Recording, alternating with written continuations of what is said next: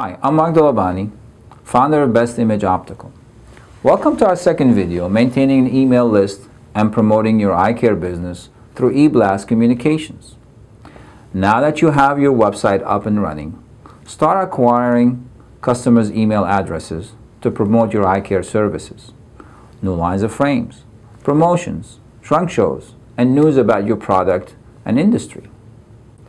Keep them simple, meaningful, and interesting. Send an email to your contact list six times a year on average What is subject line relating to your email contact. Build and grow your contact list with in-store and web sign-up forms.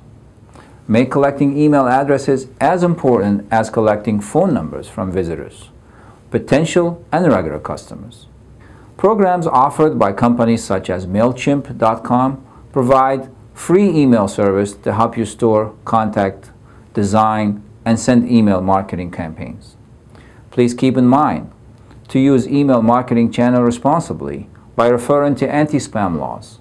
For more details on how to maintain email contact lists and how to send regular eBlast, download the PDF located at the bottom of this video for your free guide. Or you can email our marketing department today for further assistance. Thank you for visiting Best Image Optical.